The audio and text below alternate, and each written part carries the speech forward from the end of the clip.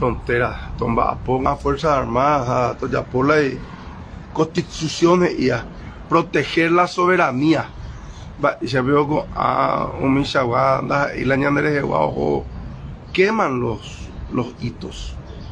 Eh, queman ahí donde se marca territorio misa, no donde Catuín, primero allá eh, todos son bienvenidos, todos, no solamente los paraguayos que respeten la ley en Paraguay, son bienvenidos, pero que respeten, que hagan la este, cortina de viento, la curva de nivel, que no quemen, que no envenenen los arroyos y los lagos y que no se dedican exclusivamente a la soja, que sean agricultores y no hay po y productores.